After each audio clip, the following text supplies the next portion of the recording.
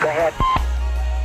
Roger, the SATCOM ops folks would like to pass, on, pass along their congratulations for a job well done.